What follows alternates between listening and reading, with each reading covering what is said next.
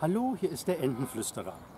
Äh, die beiden Enten, die ihr da gerade gesehen habt, sind beide etwas ganz Besonderes. Sie ist letztes Jahr hier im Park geschlüpft und er ist eine sogenannte Mischente. Das heißt, die Eltern oder Großeltern waren einmal Wildenten und Hausenten, die sich gepaart haben.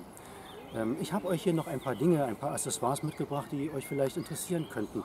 Ähm, hier zum Beispiel ist eine Pusteblume. Dann fragt man sich, was haben bitte schön Pusteblumen mit Enten zu tun? Nun, das ist ganz einfach. Enten fressen Pusteblumen. Und das ist auch viel besser als dieses ganze Brot, was die Leute immer massenweise in den Teich schmeißen.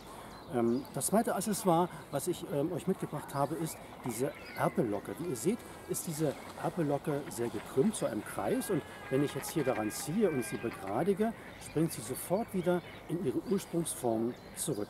Das ist ähm, ein sehr schönes Accessoire für Erpel, äh, sitzt hinten und soll also die Weibchen praktisch beeindrucken. Ja, das sind jetzt ein paar kleine Sachinfos, ähm, aber ich habe natürlich äh, ganz viele herzerwärmende Dinge erlebt in diesen 15 Jahren, wo ich Wildenten beobachtet habe. Eine Ente lebte ja sogar acht Jahre, die habe ich wirklich acht Jahre lang beobachtet. Und das habe ich jetzt alles mal äh, verschriftlicht und in einem Buch äh, zusammengefasst und das ist jetzt erschienen. Das heißt Ente Kompetente, ist ähm, vom Mariposa Verlag herausgegeben worden.